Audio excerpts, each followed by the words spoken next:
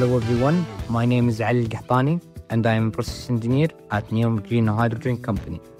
Every day I'm taking part in shaping the future of clean energy. My job is to ensure all the processes run safely, reliably and at peak efficiency. I take part in design reviews, provide technical input during product development and build the operational systems.